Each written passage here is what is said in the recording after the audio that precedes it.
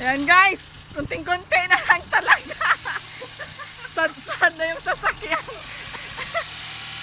ano ba yan, nagpa-practice na yan. Ay, ay, ay!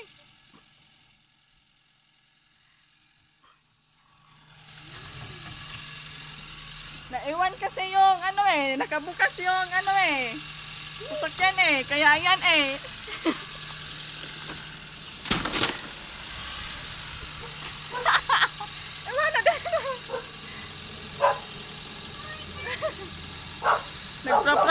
ng driving si Axe.